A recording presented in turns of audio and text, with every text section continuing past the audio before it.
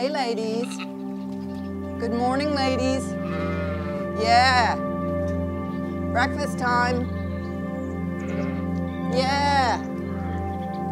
It is so vital and important that we understand that we need a healthy soil biome. I get so passionate about it, how vital it is to the maintenance of civilization.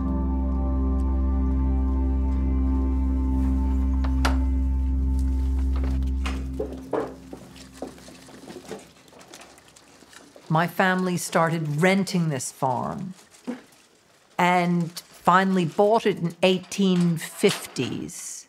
My grandfather, who I learned a lot about the farm from, inherited it in the 1940s.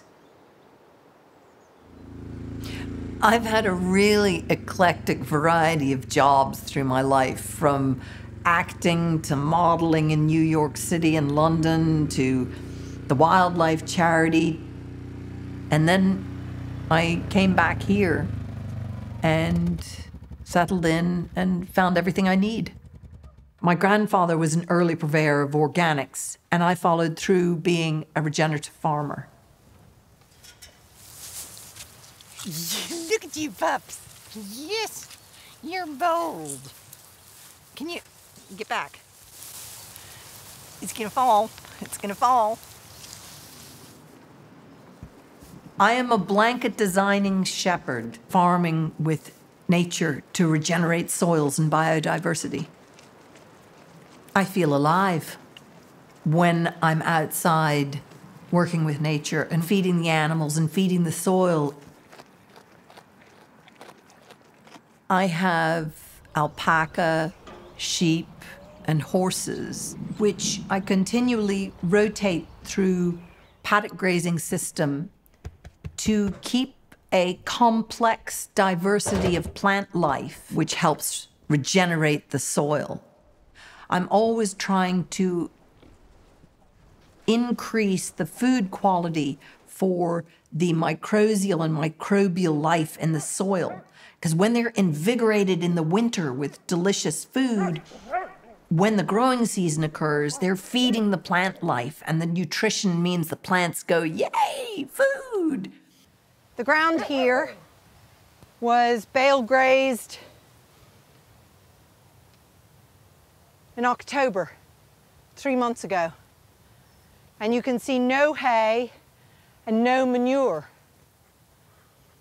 or very little manure, because the insects in the soil and the microbes have all absorbed the manure and the hay. But if we walk, we track to more recent times, you'll slowly start seeing loads of hay and manure to where I'm going to start establishing the next seed bed. This is the last place they were at. A complex, biodiverse plant life in the fields makes my sheep really healthy, which in turn makes the fleeces they grow really strong and also makes the meat really delicious.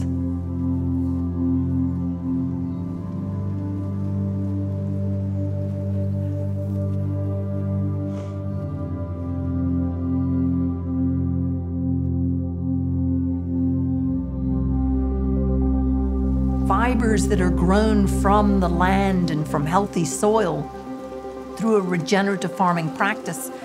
It's healthier for the environment, both as you use it to wear it and grow it to when it decomposes back into the soil without the petroleum based ingredients which degenerate the biological life.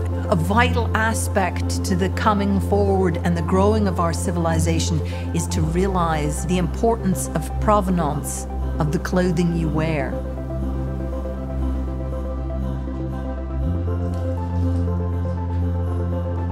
Fiber I take as wool to a local woolen mill where they clean, spin, and weave my fiber products, which are then sold all over the world.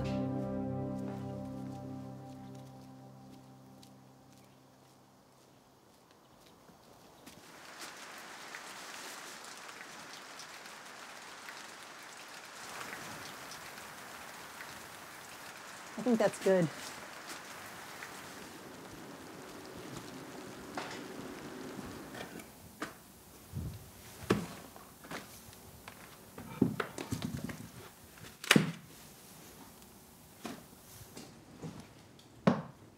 There is a lot of tough physical work. In mucky, muddy, or deep snowy weather, it is relentless hauling things about the place on your own. I can get depressed through physical exhaustion, and that's when I call in a friendly neighbor or friend when I need help.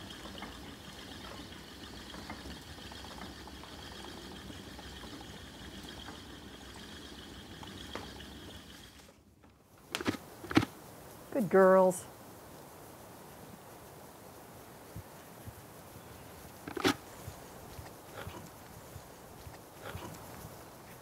Good girls.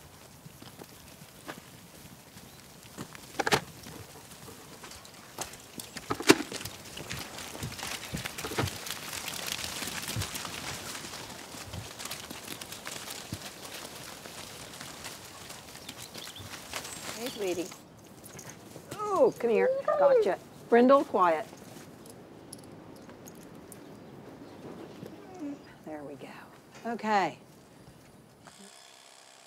people all over the world love following everything that I'm doing on social media. It's like a unique support system that when I started farming, I never dreamt would exist. It's different. Here we go.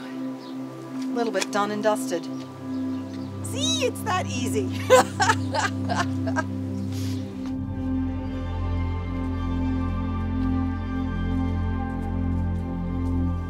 Very often, I'm purely grateful for where I am and where I live and what I do. My hope is that my passion for this, regenerative farming and the soil, I won't have to be as vocal about it anymore because more people will be taking it up and doing it and farming it and believing in it and earning an income from it and a living from it. It, it, it gets its own life out there. And this is why I really feel there's hope for soil, civilization, and the environment in the future. On, pups.